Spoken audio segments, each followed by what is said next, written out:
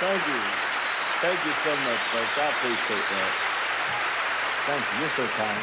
You know what? The lady asked me out here tonight, coming in here this afternoon. She said, Mel Tillis, Mel Tillis, Mel Tillis. And I said, well, why what is it? Why What is it? Why What is it? and she said, how do you do it? I said, do what? And she said, how do you, how do you write those beautiful songs that I hear you singing all the time on television, on Dinah Shore Show, Mike Douglas Tonight Show, and Music Hall, Hall of, Hall of America. Well, I told her by experience. I said, now, honey, it doesn't have to be your own experience. It could be someone else's happiness or their tragedy, something that you might read it in, in a, in a new, in, in a magazine. But if I may tonight, I'd like to tell all you nice folks about an experience that I had one morning about 3 a.m. My wife, Doris, woke me up. Pay attention. And she hit me and knocked me all the way out in the middle of the floor. Oh, all the way out.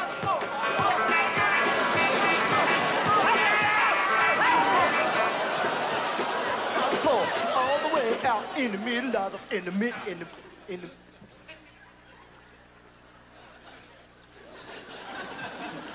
And she said, Merv. That's Mel. I mean, Mel. Not Merv. And I said, what is it? And she said, Melvin, who's Julie? you talk about stuttering. Oh, I bet. Son, I turned it on. Now, as a matter of fact, it. As a matter of fact, it took me about about uh, about fifth uh, about fifth about, about an hour and a half to tell her that it was a racehorse up in Kentucky.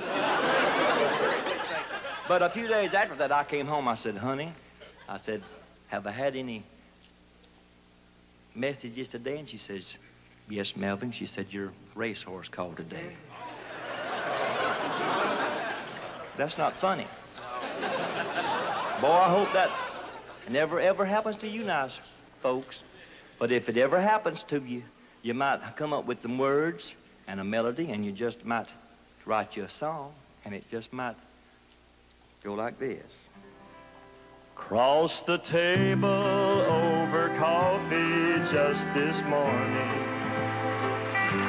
A woman called me by surprise without a warning. She said, honey, you talk in your sleep. Then she began to weep.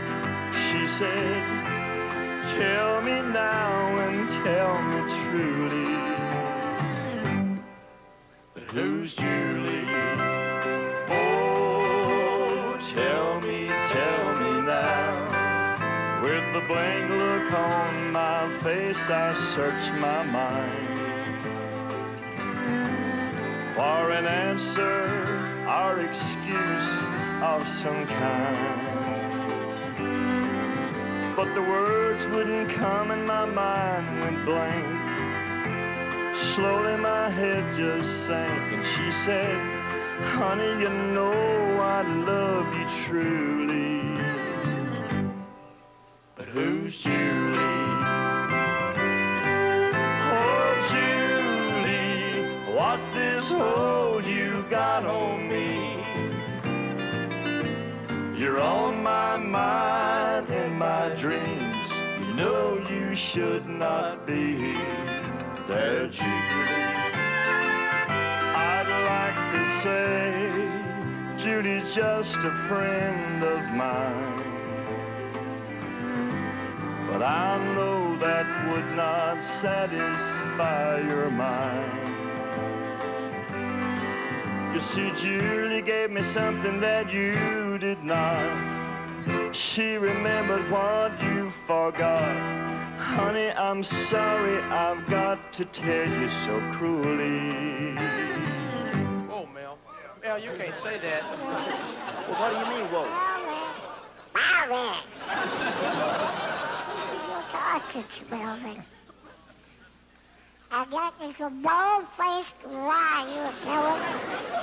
How the boogeyman will get you for lying, the same as he will for stealing. So there.